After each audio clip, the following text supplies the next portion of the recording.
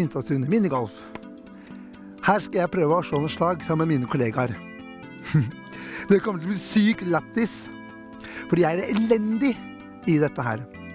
Og når vi snakker om å være latterlig og sånn, vi skal bli med Mathias til Stavanger, der han møtte humorkongen og revystjernen Per Inge Torkelsen.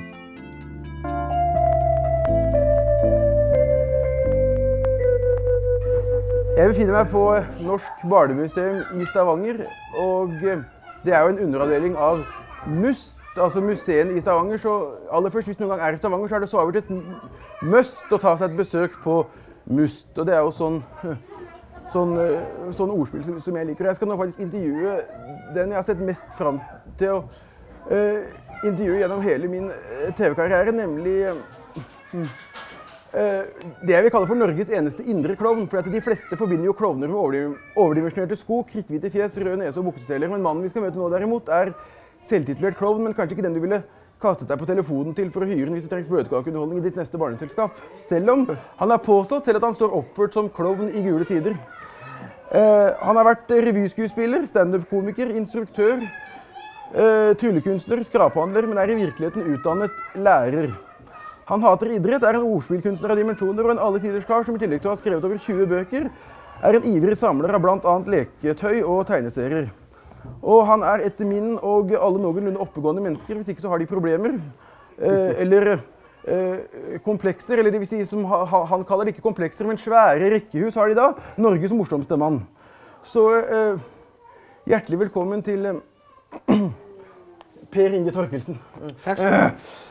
Uh, aller først, du uh, Du begynner å bli ganske, om ikke lei av, så godt vant med å bli intervjua. At det er kanskje litt kjedelig å snakke om det samme gang etter gang. etter gang. Hva er det som er kjedeligst? Er det myntene, eller er det badekarhoppinga? Eller hva er det som har gått igjen flest ganger? tror du? Har du noe statistikk på det? Nei, jeg syns ikke det er så kjedelig, fordi det blir alltid litt annerledes hver gang uansett. Men hva er det som har blitt tatt opp flest over? Det er jo enten myntene eller badekarhopping, er det ikke det? De, de, de, de, to er jo klassikere. Ja, og det, den setningen jeg kommer til å bli huska for ja. når etter jeg dør, det er 'gi ungdommen en flaske brennevin for idretten'. Ja, ja, nettopp. ikke sant? Er det fordi at du spiller på så mange sider av humoren at du har valgt å kalle deg klovn? Fordi at du har, du har, vel aldri vært klassisk klovn? Sånn hvitmalt med La meg si, jeg føler meg ikke som skuespiller. Selv om du har gjort det masse? Selv om jeg har gjort det. Og du føler deg ikke som rein standup-komiker heller? Nei, det gjør jeg ikke. Sånn at problem, og artist kan være så mye. Det kan ja. være kunstmaler for så vidt òg. Du har sunget mye. Du er jo ikke noen utprega sanger heller. Nei, Nei? Jo, uh... så, så, når jeg skulle velge tittel, så syntes jeg klovn var det nærmeste. Men du har jo hatt et kåseri hvor du fikk litt problemer med det i Gule sider. Var det folk som ringte og skulle ha en klovn, som ikke kjente navnet ditt, eller sånt, og så sto det ja. og, men de så det, det stod Per Inge Torkelsen, og så vidt at han er jo ikke sånn klovn. Det burde de kanskje vite, men det var ikke alle som visste det. Pluss at Televerket i de dager, ja. nå heter det vel Telenor, de ja. likte ikke tittelen klovn. Så ja. de anbefalte meg at jeg burde være skuespiller eller artist. For det er vel du og Rolf Wesenlund som har spilt mest skuespill i landet uten å være skuespillere? Egentlig kanskje. Ja, eh. du, er, du, er, du, er, altså født og oppvokst i, eh, i eh, Stavanger. Faren din var Jehovas vitne, og moren din var, hun sto i bakeri i tillegg til å være hjemme med, med dere. Helt riktig. Ja, og det er jo det var vel en ganske trygg oppvekst? Foreldrene mine de var gift i 48 år, 48 år når mor døde. Ja. Og jeg hørte aldri at de krangla. Og jeg trengte ikke være redd for Nei. at de skulle være overstadig berusa når jeg kom hjem. eller noen ting. Og jeg kunne invitere venner inn hva dag jeg ville. Og mor mi lagde rød saft og pannekaker og ammeridder og ja, ja. til dem. Så det var veldig trygt og fint. En liten episode fra barndommen din. Faren din var jo Jehovas vitne. Men det var en gang jeg husker hvor du faktisk fikk ikke bare aksepterte han at du banna, men det var så gøy at han faktisk lo av det. Og... Morfar min feide rennesteinen hver ja. fredag Per Gravdal. Per Gravdal, ja. yes. Mm. Og han, han, var litt frodig. Han var kristen, han òg, ja. men han bandet likevel. Han var byggmester. Oh. Og han sa jævlig med drit i dag, sa han av og til. Og det hadde jeg hørt eh, at han sa nesten hver fredag. Og jeg sto og kikket på når morfar min sopte, og så sier jeg, da var jeg fire år, tror jeg eller tre. Jævlig med drit i dag. Og det syntes morfar var kjempemorsomt. Ja. Så da bar han meg inn på skuldrene og fikk meg til å gjenta dette for far og mor. Jævlig med drit i dag. det jo Og jeg tror de syntes det var morsomt, selv om jeg bante. Du lekte jo skattejakt på hytta med bilnøklene til faren din. Det ble det litt rabalder av også, den. Det gikk på at jeg hadde fått tak i bilnøklene og husnøklene til far. Ja. svært nøkkelknippe. Det var jo ikke så mye å finne på. Ja, og så bare heiv jeg de så langt jeg kunne ut Ja. i buskene og skogen. Og folk skulle se om jeg fant de igjen. Ja, og det er jo var du, var du klassens klovn? Visste du allerede på barneskolen at du skal leve av å få andre til å le? Nei. Ja, ja. Overhodet ikke. Jeg var den som var livredd alt. Og Så det var ikke du som sto frem i kosetimen og fortalte vitser og ta en til, Per Inge? Nei, sånn? Ja, ja, ja. ikke i det hele tatt. Jeg, var, jeg satt bakerst i klassen med en brun høyhalsa genser og lukta svette. Og var redd for alt. Moren hadde sydd inn svetteputer under armene på Yes. en av de agentene dine. Mm, mm. Så, men, men da jeg på ungdomsskolen, Ja. på Cannig skole, som det heter, da begynte jeg å forstå at når jeg fortalte en historie, så lo folk. Mer enn når Stig eller William Ja. fortalte samme historie. Så da begynte jeg å få litt sjøltillit på det å snakke. Nei, Hvorfor gikk du da over fra det til kanskje det mest introverte du kan gjøre, nemlig å sitte på gutterommet og fikle med en kortstokk i i- i ti-tolv år? Det ble jo litt sånn motsatt retning. Jeg snakket jo mens jeg trylla. Jeg er første tryllekunstneren som vant et norgesmesterskap med det som heter et prateprogram. Ja, det, det vet jeg. Alle hadde musikk. Ja. Vanligvis Ramona eller Tango Sjalusi. Og så gikk de Du brukte Sjalusi. Jeg brukte Litt, yes. Men jeg snakket, og, og um, jeg blandet inn humor i tryllinga. Og så merka jeg etter noen år at det var vitsene mine folk ville høre. At jeg ga vel blaffen i den kaninen jeg blåste opp, eller kortstokkene jeg viste fram. Ja. Så ble det mer og mer snakk og mindre og mindre trylling. Men så ble det faktisk norgesmesterskap i trylling med snakkeprogrammet. Det, da var du vel litt stolt? eh, Da var jeg kjempekrye. For du, du sa at du hørte på at de telte på, så tenkte du at nå er det, nå er det instrumentalprogrammet som du kommer til å kanskje Hvis du skulle vinne noe, så, Ja. så var det vel det du kom til å For jeg trodde det var sånn det skulle være. Ja. Og så hadde jeg med dette prateprogrammet mitt bare for, nesten bare for moro skyld. Mm. Men samtidig så visste jeg at det er jo dette her programmet jeg lever av. Eller det er det jeg viser rundt forbi. Da prater jeg. Dette er ikke en rød boll, dette er Gro Harlem Brundtland og sånn? ikke sant? For eksempel. Yes. Og når jeg opptrådte på juletrefester og den slags, så kunne ikke jeg opptre med musikk. Da måtte jeg stå og snakke samtidig. Så jeg, jeg gjorde det som jeg Jeg gjorde i Norgesmesterskapet akkurat det som jeg gjorde ute på jobber. Og det fungerte. er du glad for at det blei eh, forbudt i siste liten, eller hadde du, hvis du hadde fått lov, seriøst turt å hoppe fra eh, eh, eh, fra, ja, Nå er du ikke Viking, nå er du blitt eh, Det heter Royal Christiania. Ja, ja. eh, Hadde, hadde du seriøst turt å, å hoppe? du? Nei, det, var en, det skulle være en slags tryllekunst. Så var det 6000-7000 mennesker ut forbi. Men politiet nekta jo lastebilen med badekar å kjøre inn til. Og så ble jeg arrestert på toppen der og frakta opp til Møllergata 19, hvor jeg fikk beskjed om å søke om å gjøre selvmord. Hvordan fikk de en på 1,85 inn i en vareheis for mat som er knappest en meter under? Det, det er vel det trangeste øyeblikket i ditt liv? Yes, det var, ja. Det var trangt, og det var ganske nipst òg å sitte i den vareheisen opp til 13. etasje. Men, men det var morsomt. Det var en måte å komme seg inn på hotellet på. Men det som er gallest med den historien, er jo at dette var i 1978, tror jeg. Tenker du på at du ba de sette regninga på diplomet etterpå? Ja. I, eh, eh. Hvordan jeg kom på det? Da kom jo altså da hovmesteren og sier ja, det var regningen, og det var mellom 2000 og 3000 kroner, tror jeg. Jo- Men dette var for at folk måtte i hvert fall få lov til, siden de hadde du- dukket og dert ingen nytte, i hvert fall få lov til å få seg en skikkelig runde på Ja, ikke sant? Ja. Og de kjøpte alkohol òg, disse journalistene. Ja. Og jeg hadde ikke penger i det hele tatt. Og så plutselig slo det meg. Ja, bare skriv det på diplomis. Ja vel. Og det tok du bare rett ut av lufta, det, det, det, det, firmanavnet der. Jeg kom på det akkurat der. Men så begynte du å spille revy, og så begynte du å bli Var det du som ville bli lærer, eller var det faren din som mente at du må ha et skikkelig yrke i bakgrunnen? Du kan ikke leve av tull og tøys. Faren min var veldig happy med at jeg ble lærer. For det òg var sånn et greit, eh, sikkert yrke. Ja. Men jeg ble jo aldri lærer heller.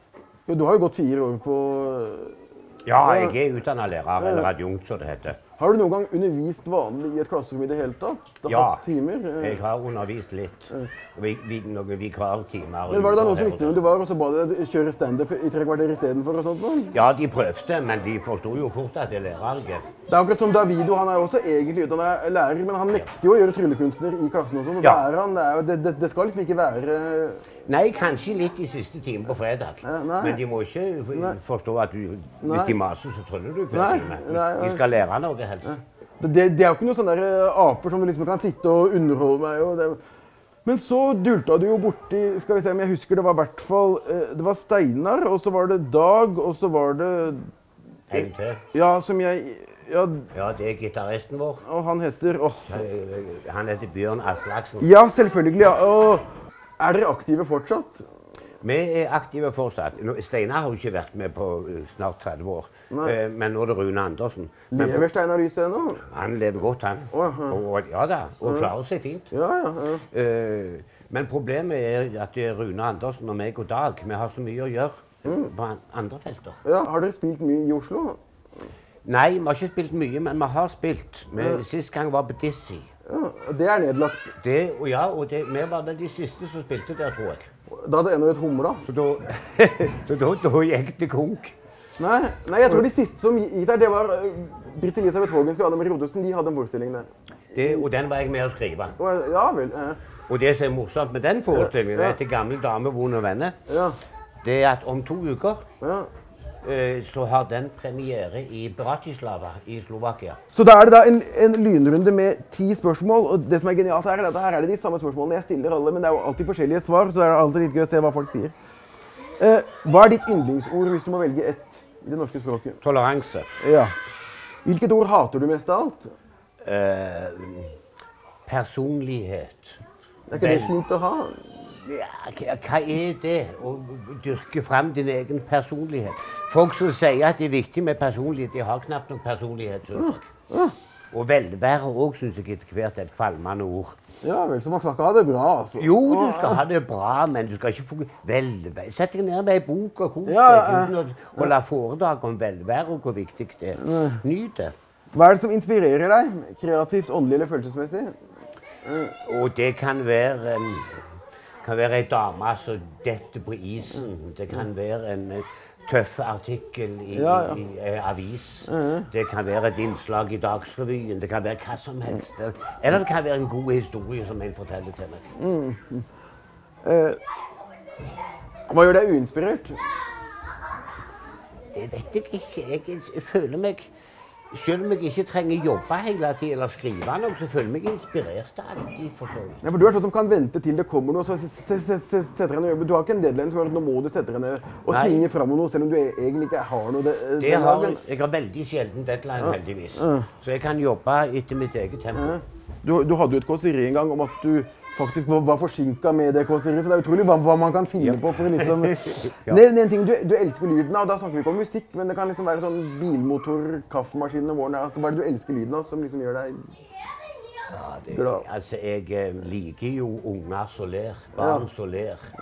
Det er, og barn som leker. Ja. Det å, hø- jeg er bestefar til en som er tre år øyeblikk Finn. Og det å høre han når han leker, snakker med ting og drømme seg vekk. Og han har en trekloss som er fly, og så flyr han fra plass til plass. Ja. Det er deilige lyder. Bare det at du sier at et barn i 2018 leker med en trekloss, det er jo en sensasjon, ikke sant? Med tanke på Yes. eh, Nå har du jo fått tilskudd til barnemuseet her som handler om eh, dataspill og sånn, og det er vel kanskje ikke helt deg, er det vel? Men Jo, det kan være, det kan være veldig bra, det òg, men, men det Bare se veldig- på folk flyr rundt og samler Pokémon. De kommer seg i hvert fall ut, ungene, og får frisk luft. ikke sant? Istedenfor De å sitte inne foran en TV. Så, så det er jo Men en, en ting du hater lyden av. La meg si, jeg, jeg, jeg går tur en del, og jeg er drittlei av å bli utsatt for passiv jogging. Når det kommer sånne uh, eh, fleskete hummertryner springende mot meg. Og pesing fra, fra, fra svette joggere hater jeg lyden av. Det er ikke noe kjekt. Jeg prøver å stoppe dem og gi dem en 20-kroning eller en sigarett. Ja, eller det, det, det er bussholdeplass rett der oppe. eller sånt. Yes, noe sånt. Men, men pesinga fra ekle joggere, det syns jeg er fælt. Er du misunnelig for, fordi at du ikke har samme kondisjon selv? Nei, jo, jeg kunne godt tenkt meg at bedre kondisjon, men, men, Og jeg har hørt om svette, jeg har bare aldri hatt det. Nå har hatt så mange jobber at dette er kanskje litt vanskelig å svare på, men hva slags yrke, bortsett fra da enten komiker, forfa- forfatter eller lærer, kunne du ha tenkt deg å prøve hvis du fikk sjansen? Eh, det vet jeg ikke, men et eller annet kreativt. Snekker, for eksempel? Ja, eller drevet et bokantikvariat. Ja, ja.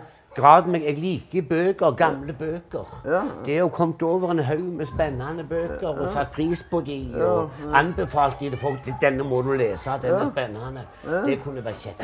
Jeg liker jo å snakke. Torkelsens trygt og godt, eller noe sånt? Kanskje. Eh, Yes. Torkelsen trykksaker. Ja, det er jo for eksempel Fins et yrke du aldri kunne tenkt deg å ha hatt? Ja, Kengurusjonglør. Nei, jeg vet ikke hva jeg aldri Det måtte kunne- vært uh, antatt i Stavanger vann- og avløpsvesen eller noe sånt. noe. Ja, det, ja nei, vann og avløp er òg spennende. Ja, kl- Kloakksystemer. Og, og jeg har jo jobbet litt med det, du bare det? for show. Og Har du vært ikke minst sånn- under, har du under gaten og sett liksom? Det har jeg òg, og vært ute i kloakkrenseanlegget som vi har på Randaberg. Og jeg har jobbet litt med kummalokk, hvem som har designa de, og hvorfor vi har sånne kummalokk i Stavanger, og sånne i Mandal og sånne i Trondheim og den slags. Så det er spennende. Men eh, hva yrke jeg aldri ville hatt? Ja, nei, det, det vet jeg ikke. Men fysisk anstrengende yrker passer jo ikke meg. Nei. Personlig trener, eksempel? Nei takk. Det, det har Eller det de trener jo ikke så mye selv, de lever bare Men jeg tror Og jo, de hopper rundt de òg, tror jeg. Ja, hvis de har saltimer, ja, men jeg har Yes. personlig trener to ganger i uka. Hun gjør ikke så mye når hun bare har meg. for å si det sånn. Det er sånn bare å sørge for at jeg gjør noe. Yes. Så det er jo... Ja. Men helt til slutt, hvis himmelen eksisterte, hva ville du ønske Gud, eller hvem det er som drar i spakene der oppe, det kan jo være hvem som helst, sa idet Per Inge Torkelsen ankom perleporten? Da eh, vil jeg tippe at han sier 'tror du på meg nå'? Ja. Og så hadde jeg svart nei. Ja, her går det slag i slag.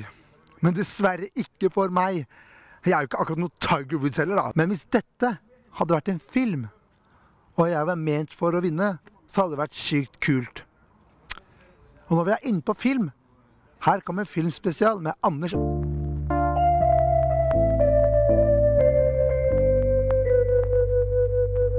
I morgen er det klart for finale i Eurovision Song Contest i Lisboa. 26 land deltar, og uansett hvem som vinner, så kommer det til å bli en festkveld av de kjeldene. Og når det kommer til ukens første film, så foregår også denne i Sør-Europa. Ma petite sœur, ma toute petite sœur. Je te présente Bérangère, ma trop jeune fiancée. Enchantée. I Huset ved sjøen befinner vi oss i utkanten av Marseille. Beranger, hennes kjæreste Josef, samt hans søsken Armand og Anchia er på besøk hos faren deres, som ligger på døden. Faren bor i en ærverdig villa, og mens søsknene er der nede, tenker de over hvem de er, hva de har arvet, og hvordan fremtiden kommer til å bli for det gamle huset som faren bygget da han var yngre. Søsknene kommer stad til å støte på en ny utfordring, fordi det i nærheten kommer noen flyktninger i land. I hovedrollene finner vi Ariana Askarid, Jean-Pierre Darosa, Gerard Megan og Jacques Baudet. Regi Robert Regarde! dangereux. Dangereux. Ah ouais, il est beau C'est horrible tous ces bons souvenirs. À Angèle. Angèle, Vous allez voir, vous aussi Je sais pas, on n'en a pas encore parlé. on les a trouvés dans la colline. Ça doit être des rescapés du bateau. Qu'est-ce qu'on fait Vi skal holde oss til La France, men bevege oss inn i universitetets ganger. I Ordets makt møter vi universitetsstudenten Neya Saila, som studerer juss. Neila har hatt en tøff oppvekst, og i tillegg har hun arabisk opphav. Ikke mange bryr seg om bakgrunnen hennes, bortsett fra foreleseren Pierre Massar, som er kjent for sine rasistiske og sexistiske synspunkter. Når Pierre blir tatt på fersken av studentene etter å ha utsatt Negra for hans skitne ordbruk, blir han tvunget av universitetets ledelse til å takke ja til Negras forespørsel, nemlig å være hennes mentor i forkant av universitetets retorikkonkurranse. For ved siden av å være den han er, en gammel mann med utdaterte fordommer, er Pierre i tillegg en glimrende retoriker. I hovedrollene finner vi Camelia Jordana som Nega, mens Pierre spilles av Daniel Autier. Regi Ivan Atal. La vérité, on s'en fout. Ouais, c'est bien ça. Exercice pratique. Ami Romain, prêtez-moi l'oreille Tu vas bien avec ton histoire, toi? Toi, tu deviens la star de la fac et lui, il a le droit de continuer à être un gros raciste? Je comprends pas là. T'es son amende honorable Oui Il s'est servi de toi, mais tu t'es pas servi de lui, toi aussi? Je me suis pas rendu compte que j'étais pas à ma place. Moi, la meuf que j'ai rencontrée, elle abandonne pas comme ça. Je jure de dire la vérité, même si je mens comme je respire. Je sais qu'un jour s'attachera à mon nom le souvenir de quelque chose de formidable. Superhelten Deadpool, også kjent som Wade Wilson, er ikke som andre superhelter. Han har selvbregdende krefter, han er en hattskrående leiemorder, men først og fremst, humoren hans er sær og mørk. Første gang vi så Deadpool i aksjon var i X-Men Origins Wolverine fra 2009, før han i 2016 fikk sin egen film. I Deadpool 2 må Deadpool legge ut på en reise som går over hele jordkloden. På reisen skal han få lære et og annet om familie, vennskap og smak, men han har slått mot ninjaer, mafiabosser samt seksuelt aggressive hunder. For ingenting skal forhindre Deadpool i å redde verden, samt å gjøre ham fortjent til kaffekoppen 'Verdens beste elsker'. Deadpool spilles av Ryan Reynolds, mens vi i andre roller finner Josh Brolin, Brianna Hildebrand og Morena Baccarin. Regi David Leitch. isn't a superpower. And certainly not very cinematic. Yes, it is. Let's meet in the middle and say no, it isn't. You're no fucking hero. You're just a clown. Dressed up as a sex toy. So dark. You sure you're not from the DC universe?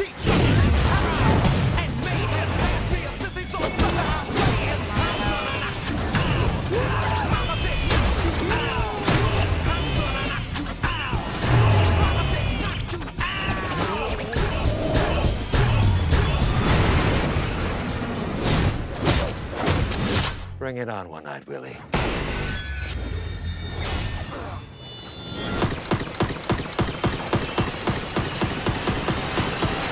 Ooh!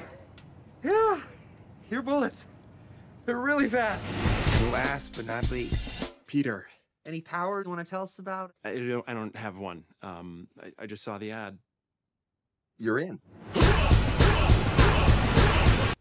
Før vi avslutter, så må jeg nevne at eh, Deadpool har premiere først den 18. mai, altså neste fredag. Og at den i skrivende stund ikke har fått noen aldersgrense ennå. Personlig så vil jeg anbefale filmen fra 15 år og oppover. Minigolf er jo sykt lø. Det mener i hvert fall jeg.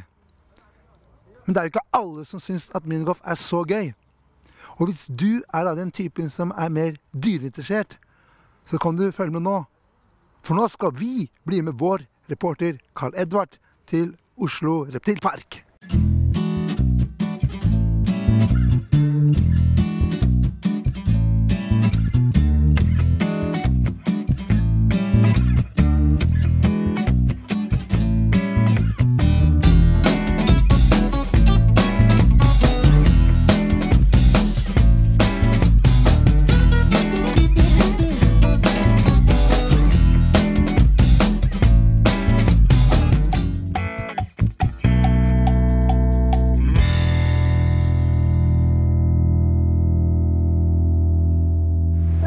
Nei, men så der, ja. Her har vi en liten uh, kongepyton. Den er også lovlig å ha i Norge nå. Den står på positivlista. Og han her er en fullvoksen gutt på hvor gammel er han nå? Åtte-ni år, kanskje. Eh, og han heter Ludvig. Han heter Ludvig. Skal du holde hånden? Ja. Han er veldig snill, altså. Så det viktigste er bare at du holder den godt i hver ende. Han er en ganske lang og tung slange. Behold den sånn. Så gjør han ingenting. Han er kjempesnill. Kan du fortelle litt om eh, Ludvig? Ludvig, ja. Um, ja, altså han er en kongepyton. Så det er en veldig populær type kvelerslang å ha privat. Uh, veldig vanlig å bruke som uh, terapidyr, rett og slett, i dyreparker og sånn, fordi de er veldig rolige dyr, da. Så du vil også legge merke til at han bruker tunga. Han tar tunga ut og inn hele tiden. Og på tuppen av tunga så er tunga delt. Så uh, slanger og nesten alle reptiler de har noe som heter Jacobsens organ oppi ganen. Det er det den bruker til å lukte med. Her foran så har han eh, masse, masse hull. Lang snute her oppe. Det er ikke nesebor. Neseborene er på toppen der, i enden av de der hvite stripene. Men her i toppen, eller her rundt eh, leppa, så har han masse sånne små hull. Så det er hva man kaller for varmesoner, rett og slett. Så det hjelper han da at han kan jakte i komplett mørke. Ikke noe lyskilde noe som helst sted. Og så hvis det løper en liten rotte forbi, eller hva det måtte være, så vil han se den klar som dagen.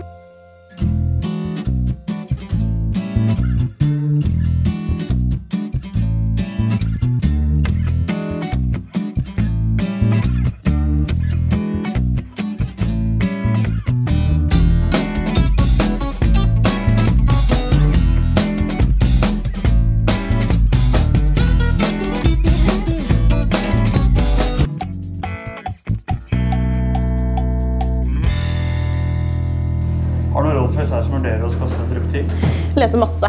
Masse, masse, masse, masse. Og ikke bare høre på én kilde. Hør på flere kilder, og gjerne de kildene som på en måte har eh, F.eks. Eh, ja, organisasjoner, altså som Norsk heterologisk forening, for eksempel. Ta kontakt med dem og høre litt hvor de skal finne mer informasjon. Eller eh, snakke med erfarne folk, rett og slett. Man behøver ikke å være noe helt for å være god i minigolf. Det ser du bare på film. Og når vi er inne på ordet helt, her kommer del to av vår serie Superhelter med Even. Perioden 1938, fra da Supermann ble publisert, til 1950 blir regnet som tegneserienes gullalder. Og det er fordi det var starten på en økt popularisering av tegneserier og populariseringen av superheltsjangeren. Og som respons på Supermanns popularitet, så begynte andre selskaper å produsere sine egne superhelter, og tegneserieblader både med og uten superhelter ble produsert. Blant karakterene som fikk økt popularitet i gullalderen, var Disneys Mickey Mouse og Donald Duck. Disney begynte også å lage sine egne tegnefilmer som Snehvit, Pinocchio, Dumbo og andre kjente filmer.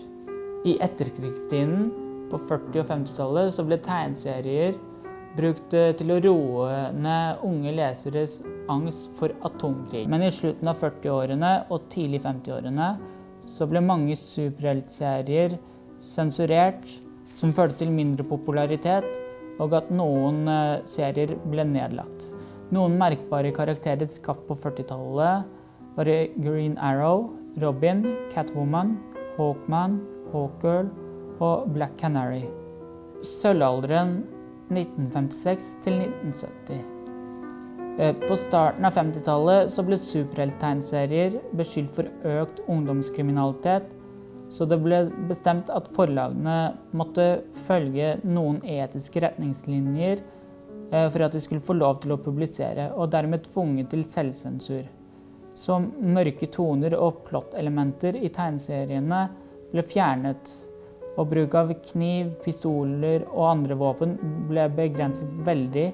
Mye av de voldeligere tingene måtte nesten erstattes helt med bankran og rare duppedingser, og Batman og Jokeren fikk mye av sitt utstyr på denne tiden. Selv om mange superheltserier ble lagt ned, så var det fortsatt noen som var populære. Som f.eks. Supermann, Batman og The Flash. Med nedgangen av superhelter økte populariteten til western, romantikk, skrekk og ungdomsserier. Fra 1956 så fikk superheltene en økning i popularitet, og det ble laget uh, nye karakterer. Men de måtte fortsatt forholde seg til de nye retningslinjene. Noen merkbare karakterer som ble skapt på 50-tallet, var The Martian Manhunter, Batwoman, Supergirl og Kid Flash. Sølvalderen 60-tallet. På 60-tallet så ble eh, en del av seriene som ble lagt ned på 40- og 50-tallet, gjenopplivet, som f.eks. Captain America. Og denne gangen ble han værende. På denne tiden så ble også mange andre skapt, og noen team som eh, de fleste kjenner igjen fra TV eller film, som eh, Justice League, Fantastic Four, Ant-Man, The Hulk, Spiderman, Thor, Iron Man, The Avengers. Wasp, Scarlet Witch, Quicksilver, Black Widow, Daredevil, Hawkeye, Teen Titans, Doctor Strange, Black Panther, Batgirl, The Vision, Guardians of the Galaxy og Falcon. Mange av disse ble blant de mest populære og gjorde superheltene mer populære enn andre tegneseriesjangre som western, skrekk og romantikk, som fikk nedgang bronsealderen 1970 til 1985. På denne tiden så fikk tegneserieskapere mer spillerom, og det ble en returnering av serier med mørke toner og plottelementer. Tegneserieskaperne begynte å lage historier relatert til viktige sosiale problemer som ble brukt i seriene fra gullalderen. Eksempler på disse er rasisme, narkotika, alkoholisme, fattigdom og lignende.